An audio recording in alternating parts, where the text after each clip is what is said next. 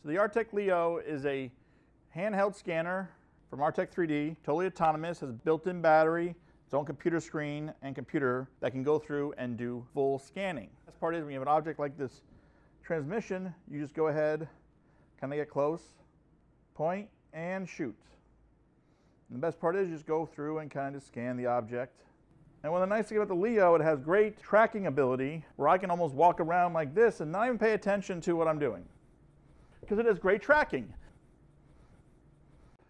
Wow. Well, time for a break. Let's go to lunch. Okay. Oh, Jesus, Pete. Oh, man. That, uh, I just moved the transmission. How am I going to pick up where I left off? Ah, with Artec Leo, it doesn't matter. You can move it wherever you want because it uses the object to target. We'll go through regain the scan geometry. So once I re-aim it, point and shoot, just the same way, I can start scanning again. And the nice thing is it gives me active feedback, and as it turns green, has the data, and as it turns red are spots I've missed. For example, I can get down in the bell housing here that I missed earlier, and that gives you that flexibility to really go through and easily scan your object.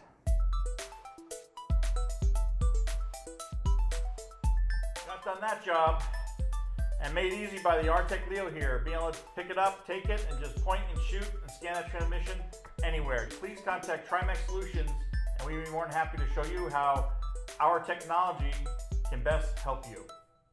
Thank you for watching.